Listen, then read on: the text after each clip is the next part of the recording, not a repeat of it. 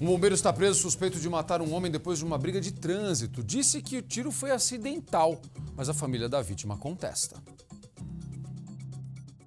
53 anos, pai de três filhos, marceneiro. Carlos saiu de casa para fazer um favor.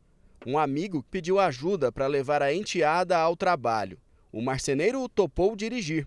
O amigo, o filho de dois anos e a enteada entraram no carro. Ela ficou trabalhando.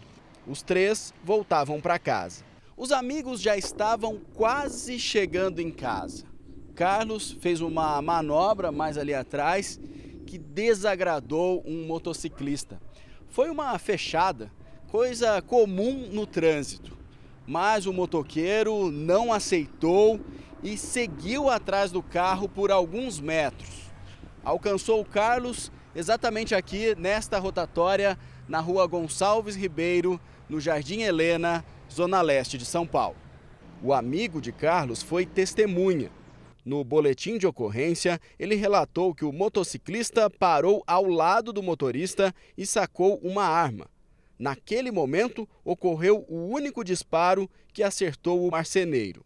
A testemunha relata que o atirador, de nome Gregory, começou a gritar assustado, como se o disparo tivesse sido acidental. Por um descuido, ele fechou o motoqueiro, pediu desculpa, seguiu seu caminho e, acreditando que seria uma coisa normal, o motoqueiro seguiu ele. Na hora, Gregory se mostrou surpreso com o que tinha acabado de fazer.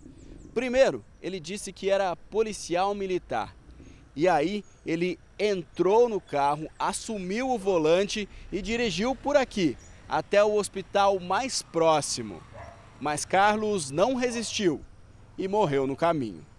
Gregory, na verdade, é oficial do 5 Grupamento do Corpo de Bombeiros em Guarulhos. Depois de ir ao hospital, ele procurou uma delegacia. Apresentou a pistola de onde partiu o tiro que matou o marceneiro.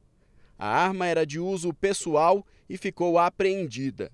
O bombeiro foi detido em flagrante e passou por audiência de custódia. A justiça decidiu que ele deve continuar preso até o fim da investigação. Esse bombeiro despreparado, mal treinado, ele simplesmente atirou para matar o meu irmão. E eu quero justiça, eu quero que ele fique preso. Eu quero que ele pague pelo que ele fez. Intencionalmente ou não, eu quero que ele pague pelo que ele fez.